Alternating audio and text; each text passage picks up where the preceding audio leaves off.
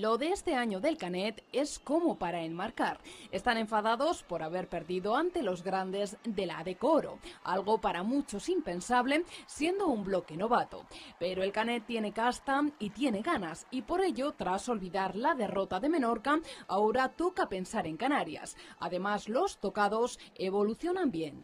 Eh, quizá la parte más importante de, de, los entrenamientos es que hemos recuperado, yo creo que Quique llega mucho mejor al partido de este miércoles.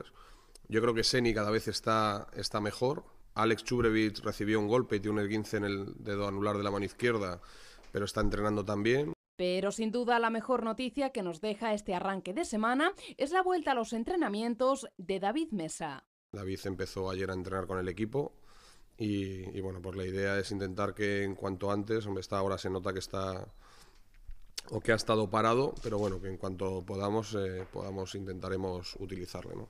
Mañana miércoles hay jornada de liga y visita el Palacio de los Deportes un equipazo como Canarias, un bloque que lleva varios años buscando el ascenso y que hasta el momento es el mejor valorado. A pesar de ello, la plantilla riojana no le teme.